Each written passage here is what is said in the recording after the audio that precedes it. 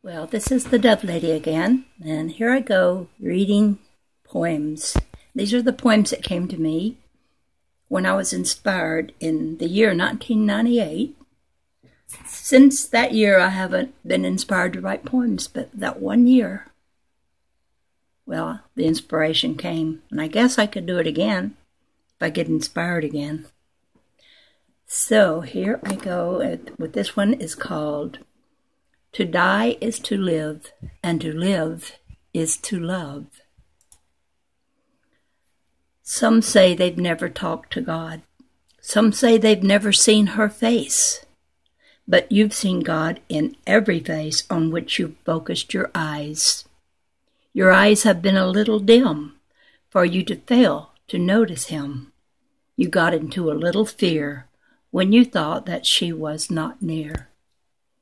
But I am in your very soul. You breathe me with your every breath, and I am in the situation, even when you call it death. For I can never, never die. I only change my form. I live as you upon the face of earth, and then return unto the place of birth. You are much bigger than you know.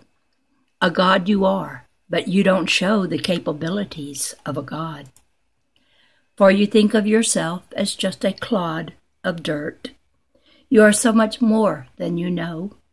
You've only come here to grow, to face a new kind of situation, to see what will be your heart's persuasion, to live a life of knowing only love, to see me in the very heart of man, though often man may be in his illusion.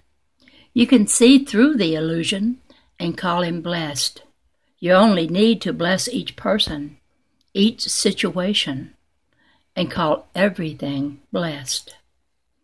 Call them blessed and call them holy, for God is looking on the inward heart of you. Call them blessed and call them holy. This is all you need to do. Everything in life is a little mini series of your favorite character. Call it you. The next performance of the latest showing is directed by you without your knowing. You know not that your life is how you call it, for you keep looking at the things at hand. You think of former days and drag them to you, making this current show a repeat performance of the past. But it need not be the same old situation, for you are the director of the show it changes all the time and it gets better. Your way of directing things can make the difference. So learn you how to be a good director. Learn you how to be a better potter. Know that you become the thoughts you think. And think again and make a better choice. All around you are the opportunities, but you have labeled them as only difficulties, and so that is what they become for you for they will be as you call them. You're calling forth. You are the thinker, thinking, and like attracts like. Thoughts of fear will bring the fearful thing right to you. Thoughts of love will do the same thing too. You are the co creator, just like me. You create the next series of the show. I know the final outcome of the show, and rest assured it comes out good. But you determine how long it's going to take and how much pain you must endure along the way. Turn it around. You can do it today by watching all the thoughts you think and what you do and say. Just call forth a new tomorrow. There are so many possibilities, so many ways a person's life can go. You only need to keep your thought in line with my loving thoughts. I am not going to do the thinking for you. I've given you free will to make your choice. So make your choice, but don't call it good or bad. Just observe did it serve you? If you learned anything that made your spirit grow, if you learned how to forgive, if you learned how to love, then you have taken your spirit to a higher level. You grow, you evolve, you experience. Life is for the living of it. See it as exciting. See it as revealing. See it as exploring. See it as discovering. See it as remembering. Now, this next poem is called A Message from a Fish. I am a fish and I know some things. You want to catch me, but I want to catch you. I have a way of diving deep. My thoughts are going to speak to you. If you dive deep, yes, deep within, way down deep inside of you, where that still small voice abides in you, which you did not hear because you were just skimming the surface. But you see, the surface. I, but you see, I have learned that the surface is loud, for the waves are always breaking. The birds can dive right into the surface. The light penetrates into the surface, and you can see so much, but not everything. For did you know that you can also see in the dark? It's dark down deep from where I come. I hear no noise, I see no light. Nothing distracts me, so I can be alone and quiet and remember. It's hard to remember when you are near the surface. Too much to see and hear and touch. Things that fascinate, things that frighten, things that just fill my mind up, crowding out any time to reflect. You stay so busy, busy, busy all the time when you are staying on the surface, never knowing that there is any reason to go deeper, to stop the searching, always searching for the truth. Deep, deep down inside, the truth abides, hidden there just like a treasure, but not found easily, for you have to want it you have to desire it with all your being and be willing to say, I will be still and listen. And even to be willing to have been wrong. Wrong in what I thought, what I said, what I did, what I believed. Wrong but not condemned, only corrected.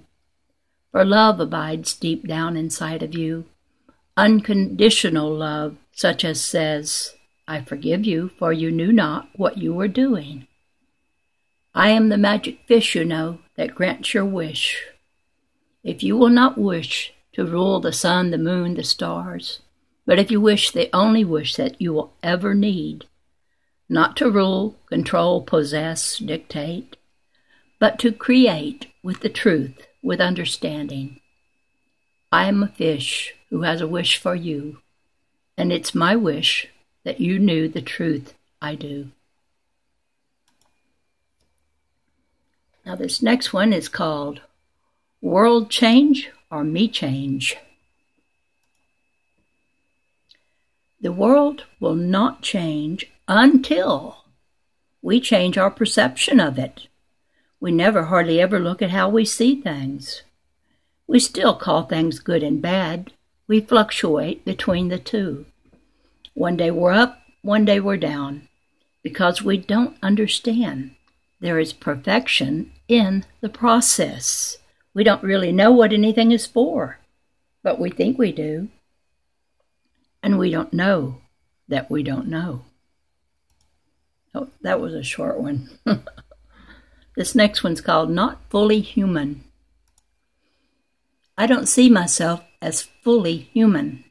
So many humans are looking for a spiritual experience. But if we only knew, we are a spirit and we are having a human experience. And if us humans only knew the wants and desires of our own spirit self, then we would see with spirit's eyes and not hold to all that's human, where our emotions rule the day. We would be beyond pleasure or pain we would be beyond right or wrong. We would be beyond good or bad. We would be beyond time or space. We would not even worry about the human race. Little footnote not that we don't care about the human race, but that we know not to worry. Okay, this next one is called God's song in me. I know who I am and I know where I'm going because I know that I'm already there. I need not go anywhere. All that God has for me is already inside of me. You think there is a past and you think there is a future, and you are going back and forth between the two. Here's a secret this is what you do. From now on, the present is the only place to be, for the future is already here, and the past is no longer relevant. You can only take the leap of faith to decide that now is the best time to be alive and make the most of this holy instant now. For when you do, oh, when you do, you change the, the past and you change the future, for they can have no control of you. There is no other way for you to have your way. So live within this day and change your very thought, so it can have the sway over all your bygone days and all your future too. It's really up to you. This moment that is true depends on me and you. To cooperate, to dedicate, to contemplate, to concentrate, to appreciate, to demonstrate, to celebrate, to officiate. For life is for the living now. There is no other time, for I have made you mine. You can only lose your mind if you take it out of mine. You are all a part of me, and I know that you will see me living in you, as you, and through you, but not for you, and not only you. For I am in every one of you, See me in everyone you see. Don't condemn any part of me. I am able to give you light when you realize to your delight that I am the light that shines from within each person, no matter how dim, no matter how you think of him. For good and bad is only your way of making your words construct things your way. Good and bad are only your, your rules of what you want and what you'll see. The truth is that I am a God of one. My law is love and only love. You cannot break it into its opposite, for nothing else can oppose it. You are only fooling yourself to think that you can make anything but love. No one using hate has made anything that lasts the truth about what you have made out of fear is just that it is an illusion. I know this sounds queer, but illusions are happening all around you to help you remember and to know what you can do. You have the power within yourself to make your world behave itself. I have given you the dominion, but you gave it away, and now you can decide to take it back when you can remember the one that you are is God, then you will discover that you are one with it all the sunset, the trees, the sea, and the breeze, the plant in the ground, the worm in the dirt, and also the star that shines above. You're everywhere present. You're everywhere love. Oh, when you remember, you're remembering me. You bring me together with love, can't you see? You get out your own special ways of expressing all of the love my heart is out pressing. You find love in everyone only when you know that you're looking for me in them too. For your narrow minded ways of thinking, you are separate, have made for you senseless things that won't last your doctrines, your rituals, your do it my way. Your smug little feeling of superiority is something you use to deny my authority. We don't get to heaven by refusing to see the simple fact that everyone is me. My love is a transforming power, you see, and hate has not power to do things my way, for hate draws the user into its own self and nothing is possible to build that will last. It builds nothing, it destroys nothing, it is nothing. For you see, hate is only a thought you have thought, and it is a thought you have thought because of fear. Because you won't remember that I'm here, I'm in you, in all. Hate is only a thought you have thought. I've given it no power, but you have. It is not real unless you make it real. It is something that you made when you got into fear. Your fear is your own illusion, not mine. I have no part in believing that way. For love is my nature. Love is all that I know. I don't know judgment, for why would I judge when I see you as me? I don't know punishment, for why should I hurt myself? I don't know doubt, for I am certainty. I am that I am, and you are that you are. But what are you going to make of yourself? What is it that you are? You can only be what you think and say, and what you think and say is how you create. For you are the potter, and you are the clay. You are the thinker, and you are the thought. Now, this next song I call my happy song. I am so happy, happy, happy each and every day. I feel no more the hopelessness. My life is far from empty. For I am always talking to and hearing from the God inside of me. And God is always saying, There's so much that you can do. And at first, when God said this to me, well, you see, I could not agree. I would say, Look at me, I'm not doing anything that is so spectacular.